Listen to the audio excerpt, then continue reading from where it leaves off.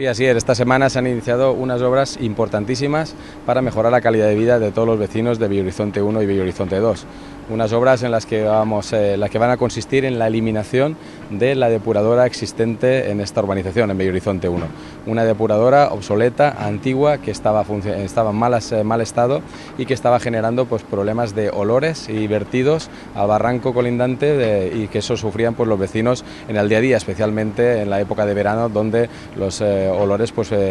perjudicaban muchísimo la calidad de vida de todos los vecinos. Una vez más, mi compromiso con los vecinos de Bello Horizonte 1 y 2 y con sus presidentes fue eh, llevar a cabo una nueva obra para eliminar esta depuradora. Un proyecto que fue presentado el año pasado a la Diputación Provincial de Alicante, que aprobó este proyecto y en esta semana pues han iniciado estas obras, unas obras que tienen un presupuesto de 218.000 euros, de los cuales el 95% va a ser aportado por la Diputación Provincial de Alicante y el resto, el 5%, por el Ayuntamiento de la Nucía y por lo tanto una vez más pues desde la Diputación están haciendo un esfuerzo muy importante para colaborar con la Nucía y solucionar los problemas de la Nucía.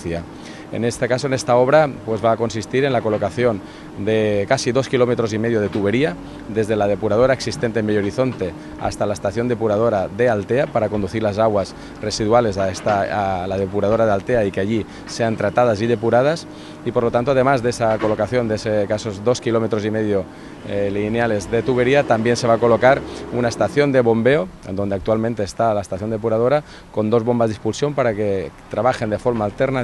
y que no haya ningún problema en su funcionamiento en el día a día.